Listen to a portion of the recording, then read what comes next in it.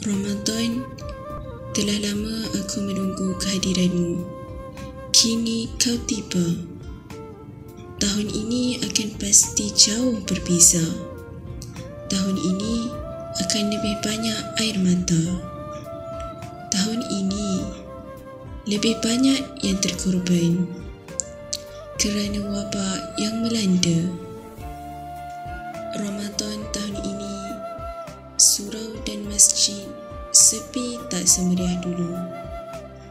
Terawih yang ku nantikan hanya bersama keluarga. Mengajar kami erti penghargaan. Ramadan tahun ini hanya di rumah. Berkumpul bersama keluarga. Beribadah bersama keluarga.